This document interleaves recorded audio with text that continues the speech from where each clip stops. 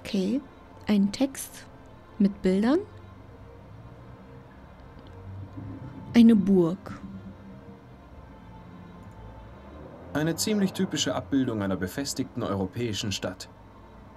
Mhm. Die Flammen der Hölle verschlingen die Stadt. Mhm.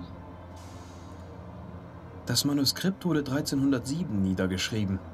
Die Tempelritter müssen den Angriff vorhergesehen und dafür gesorgt haben, dass ihr Schatz in Sicherheit gebracht wurde. Also hängt das auch noch mit den Tempelrittern zusammen?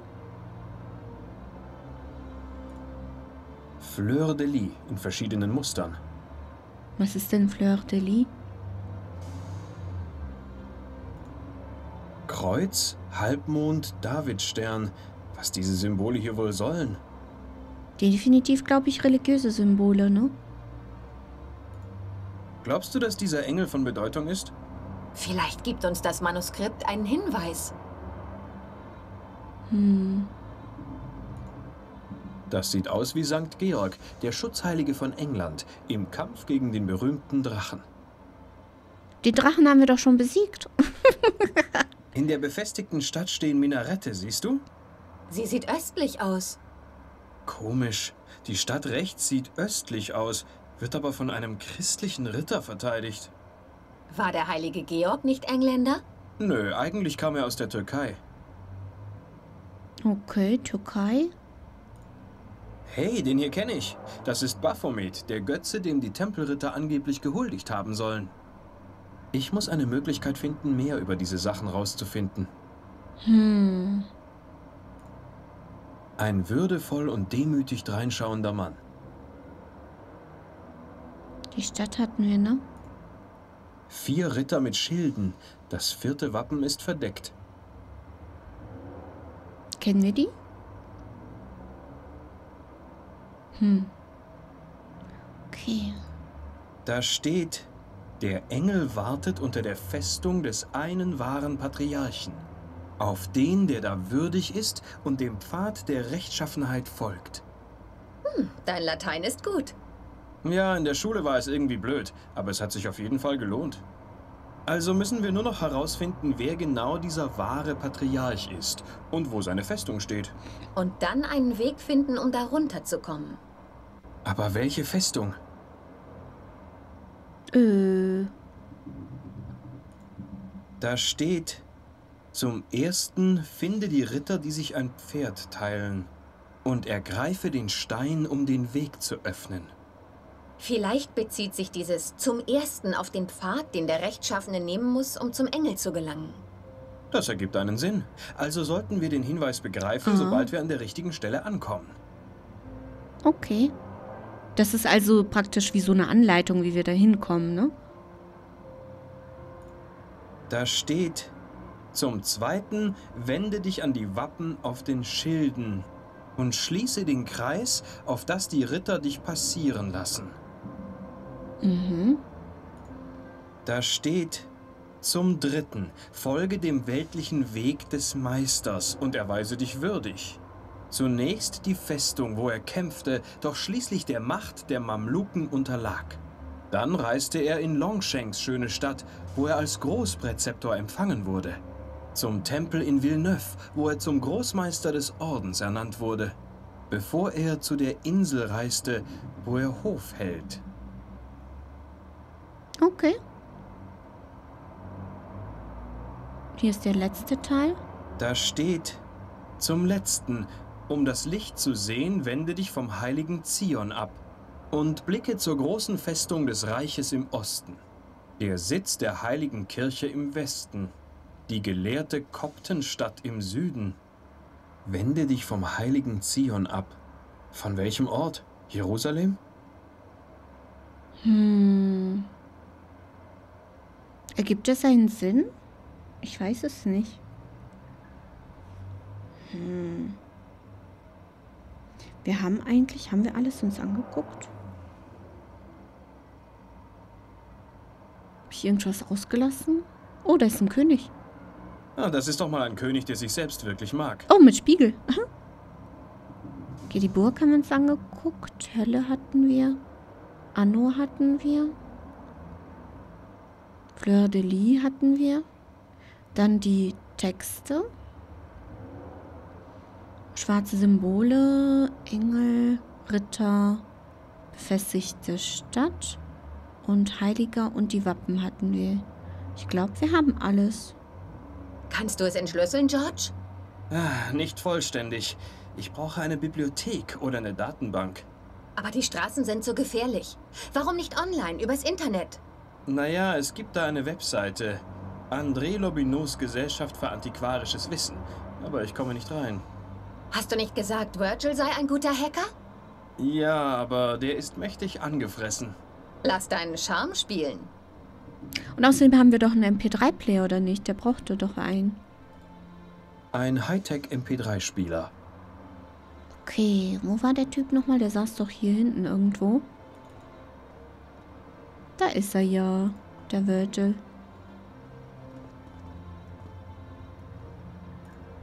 Virgil, pass auf. Lass mich in Ruhe, George. Ich will jetzt nicht mit dir reden. Okay, okay.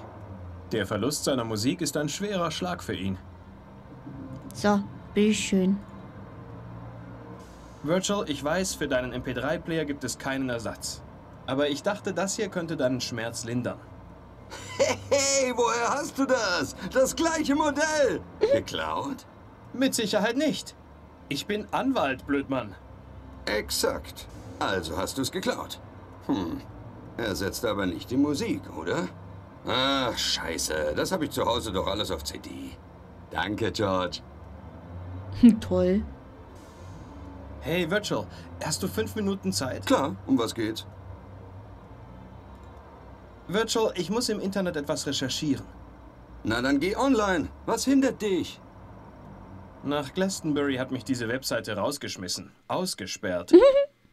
Glaub mir, George, ich habe schließlich im Knast gesessen. Ausgesperrt gibt's nicht. Wo ist das kleine Ding? Es muss hier irgendwo sein. Hier, George, damit müsste es gehen. Was ist das? Eine Flashcard mit ein paar extra Features von mir. Leg sie einfach in dein PDA und ruf diese Seite auf.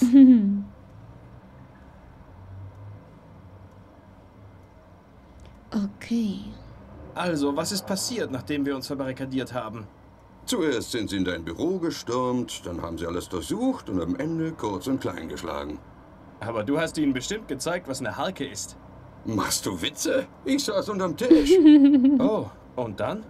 Demolierten sie den MP3-Player und sind raus. Puh, was für eine Story. Was ist daran so komisch, Mann? Du unterm Tisch, Virgil. Das hätte ich gern gesehen. Wenn wir Freunde bleiben sollen, hältst du jetzt besser die Klappe, George. Und wie geht's Anna Maria? Mach dir um die keine Sorgen, Mann. Sie ist an einem netten, coolen Ort. Hä? Wie meinst du das?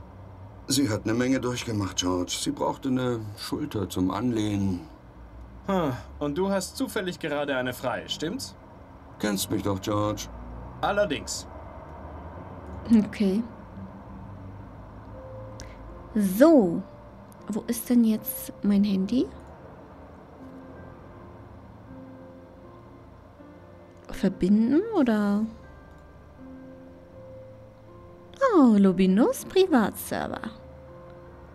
Verbindung zum Gerät steht. Zugriff aufs Internet. Firewall entdeckt. Verbindung hacken?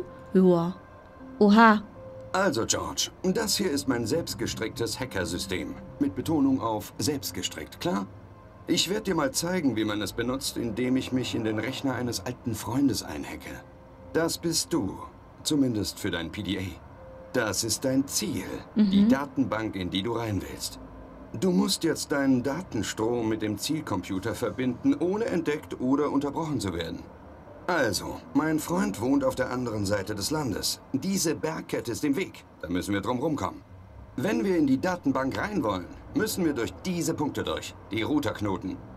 Die tarnen den Datenstrom deines PDAs, damit du nicht entdeckt wirst. Um den Datenstrom zu manipulieren, benutzt du Router und Refraktoren, verstanden? Du verwendest andere, weniger sichere Systeme in der Gegend. Du musst mit dem auskommen, was das Gerät jeweils vorfindet. Aber normalerweise reicht das, um reinzukommen. Das Teil hier wirkt wie ein Spiegel. Es lenkt den Strom um 90 Grad ab. Das hier knickt den Datenstrom um 45 Grad ab. Na toll. Das hier sind Splitter. Die können den Datenstrom aufspalten. Da das Zielgerät aber nach einem einzigen Datenstrom sucht, musst du die einzelnen Teilströme wieder zu einem bündeln. Das machst du auch mit einem Splitter, aber umgekehrt. Nur, wenn du einen Splitter in die eine Richtung benutzt, kannst du ihn nicht mehr in die andere Richtung einsetzen. Diese Punkte sind die Bösen. Das sind Knoten, die entdecken, was du vorhast und dich aufhalten wollen. Denen musst du immer einen Schritt voraus sein. Wenn du deinen Datenstrom aus Versehen in einen davon lenkst, ist deine Verbindung tot. Ich würde dir empfehlen, deine Route gut zu planen, bevor du anfängst, die ganze Gegend mit Knoten zuzupflastern. So, jetzt guck zu, wie ich das Puzzle zusammensetze. Okay.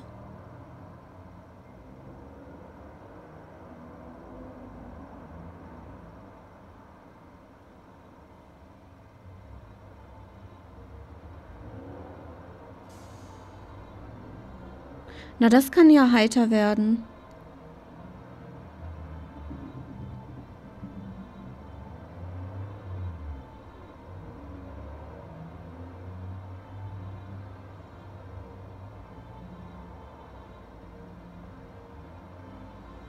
Und schon sind wir drin. Mal sehen, was mein Freund in seiner Datenbank hat. Ah, nein! Das wollten wir nicht sehen. Was für ein widerliches Individuum. Okay, George, du bist dran. Das war doch das Bild, das Nico in ihrem Zimmer hängen hatte, ne? Oh, das sieht aber anders aus. Äh. Also kann ich diese Teile bewegen, ja? Das ist mein Handy und ich muss letzten Endes wo reinkommen? Hier reinkommen, ne? Kann man das irgendwie... Das muss doch bestimmt hier irgendwie hier durch, oder nicht? Das bedeutet, ich brauche eins, das nach links geht, ne? Wenn ich das hier nehme... Oh. Aha. Kann ich das hier einfach drunter stehen? Oh, ja. Und dann muss es ja hier rein, oder nicht?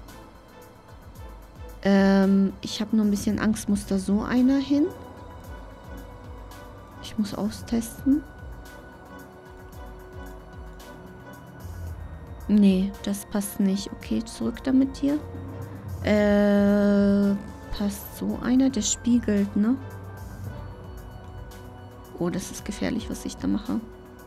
Oh, Okay, das funktioniert. Der geht da durch. Jetzt muss der aber nur irgendwie vorher wahrscheinlich hier. Nee, der geht aber hier. Oder direkt hier. Damit er abgelenkt wird nach links. Brauchen wir dann auch so ein? Ich teste. Ui. Nee, das funktioniert nicht. Okay. Okay, okay, okay, okay. Weg damit. Ähm, muss das... Warte mal, oder? Hier so? Nee. Okay, da, aber es würde auch gehen. Wartet mal. Wenn der so geht. Und dann kann ich das irgendwie damit wegdingstern. So. Ja, Leute, ich glaube, ich hab's, oder? Server wurde gehackt. Datenbank von Yale heruntergeladen auf PDA. Oha. PDA-Handbuch. Merkzettel. Bezahle die Telefonrechnung, Mordsbezahlladen, die Versicherung, Bürobedarf und so weiter. Natürlich erst, wenn uns jemand bezahlt. Eine Frau namens Anna-Maria wartet in meinem Büro, kommt gleich zur Sache, erzählt mir von einem Manuskript. Dann taucht ein Haufen Gangster auf und tritt die Türen ein. In was hat sie mich da reingezogen? Offenbar verrät das Manuskript den Fundort eines Schatzes. Habe mich bereit erklärt, Anna-Marias Manuskript zu entschlüsseln, nachdem sie mir 20 Riesen angeboten hat. Jetzt lassen wir, es, lassen wir es mal wieder richtig krachen. Haben einen der Gangster in Anna-Marias Hotel gesehen. Die wollen dieses Manuskript wohl ernsthaft haben. Anna-Maria musste sich draußen auf der Feuerleiter verstecken. Ich habe versprochen, irgendwie nach oben in ihr Zimmer zu gelangen, damit ich sie reinlassen kann. Herbert, das ist doch mein Text, oder nicht? Die Gangster hatten das Manuskript schon mitgehen lassen. Anna-Maria nimmt sich das sehr zu Herzen. Ich habe versprochen, es zurückzuholen, muss nur erst herausfinden, wer diese Typen waren. Der Gangster, der die Empfangsdame in den Wandschrank gesperrt hat, trug eine seltsame Tätowierung, eine Schlange, die sich um eine Salami wendet. Virgil ist echt sauer, weil sein MP3-Player bei dem Überfall kaputt gegangen ist, besonders weil die letzte Lieferung geklaut wurde und man keine mehr kaufen kann. Und er gibt mir die Schuld. In der ganzen Aufregung hat jemand ein Päckchen italienische Zigaretten in mein Büro fallen lassen. Die Jungs, die Anna-Marias Manuskript geklaut haben, gehören ziemlich sicher zur Martino-Bande. Der Polizist meinte, sie hätten eine Tarnfirma, Mama Martinos Meatpacking Company unten am East River. Mama Martinos sieht fast legal aus, aber da steckt mit Sicherheit mehr dahinter. Habe ein Gespräch in einem Geheimraum belauscht. Die Schläger werden von einem Typen namens Fingers angeführt, der offenbar für einen Paten namens Spalacci arbeitet. Fingers hat das Manuskript in einen Schrank gesteckt. Ich muss einen Weg finden, in diesen Raum zu kommen. Unter der Festung des einen wahren Patriarchen wartet der Engel. Äh, der Engel muss für den Schatz stehen. Dann muss ich nur noch herausfinden, wo diese Festung ist und wie man unter sie kommt. Kann ja nicht so schwer sein, oder? Latein des Manuskripts übersetzt. Anna-Marias Manuskript ist wunderschön, mittelalterlich, mittel, mittelalterliche Lateinverse und rundum Bilder und Symbole. Die Bilder scheinen eine Geschichte zu erzählen, wenn ich doch nur ihr Geheimnis enträtseln könnte. Virgil ist ausgeflippt, als ich ihm den neuen MP3-Player gegeben habe. Jetzt ist er wieder der liebe, fröhliche Virgil. Historische Datenbank von Andres Rechner erhalten. Virgil hat mir ein cooles Hackerspielzeug gegeben, habe mich erfolgreich in die Datenbank gehackt. Aus der André Lobinot ist eine elende Ratte, aber seine Datenbank enthält jede Menge wichtige Informationen über das Mittelalter. Können wir da jetzt reingehen? Begrüßungstext. Liebe Kollegen, ach wie süß. Herzlich willkommen bei der Gesellschaft für antiquarisches Wissen. Gehen Sie einfach ein Suchwort ein und genießen Sie diese erstklassige Wissenssammlung. Diejenigen unter Ihnen, die mich kennen, können wohl bestätigen, dass ich ein toleranter Mensch. Was? Toleranter Mensch? Was? Ich will keine Zeit mehr auf dieses unerfreuliche Thema verschwenden und lade Sie stattdessen ein, meine kleine Zeichnung zu genießen, die auf den angeblichen Erlebnissen von Mr. Stubbard basiert. Ihr Freund André Lobineau. Hä?